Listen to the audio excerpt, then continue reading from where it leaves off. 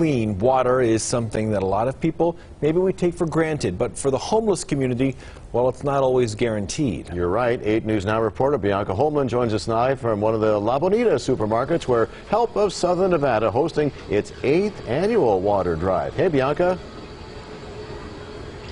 Yes, Nate, eight years in a row. And look at this container just filled with gallons of water and cases of water. And so the organization Help of Southern Nevada is hosting their eighth annual water campaign and drive to help our most vulnerable population here in the valley. And I'm joined here by Abby of the organization. So, Abby, tell me about this whole campaign. Give us the details for anybody that's not familiar. This is our first year uh, partnering with La Bonita. We're very excited. There's six different locations, so there's a real great opportunity opportunity for us to collect water.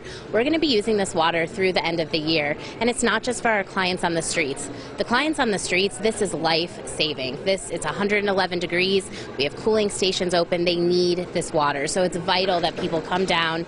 You can shop if you're shopping here. They have some great deals going on. Pick up a case of water, and it goes right to the homeless clients that are on the streets just also just to, again kind of give us the details. If somebody is interested if they come to La Bonita supermarkets all the time they know what to do. But you know what if they have a case in their car? They got some at home and they want to bring it. Can they do that? Absolutely. You do not have to purchase it here uh, if you're shopping you can. But if you're bringing some um, from your home you went shopping already you can bring it down and drop it into the container and, and we come and pick up and we'll make sure that it gets right to those people who are the most vulnerable.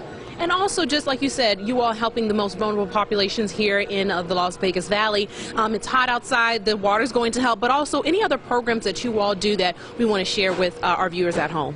Yeah, so we serve anywhere from the unborn child to a senior citizen and everyone in between.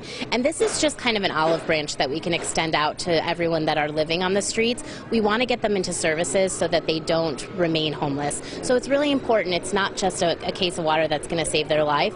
It might get them into housing and for a brighter future. It becomes more self-sufficient. Beautiful. Thank you so much, Abby, for sharing that with us. So again, this is at all the La Bonita supermarkets, the water drive. You're helping, again, people that you and pass by every day by giving them a hand up and helping them with this uh, water drive. Reporting live, Bianca Holman, 8 News Now.